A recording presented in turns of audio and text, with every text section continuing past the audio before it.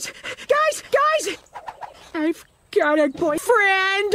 Okay, this isn't funny anymore! She's a big, dumb, dummy, dopey little brain frog. Don't take this the wrong way, Carl, but You say croissant like a fucking asshole! You doughy-eyed moke!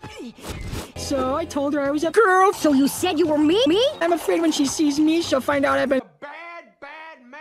And then she'll like me. Well, if you're looking for help, count me in. come on, Jimmy. What would Ultralord do? Well, let's think about that, Sheen. Maybe sit on a shelf because he's a.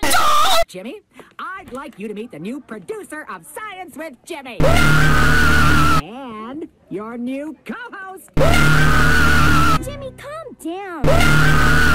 Would you like to buy some band candy? and my phospho-to-chromosome ratios clearly demonstrate that You don't get to call me a whore. someone else is new. This purple version with power and nuclear needs is rare, never seen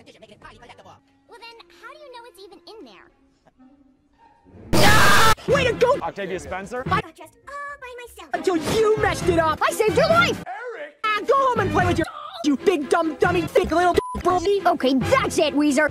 Ah, very painful.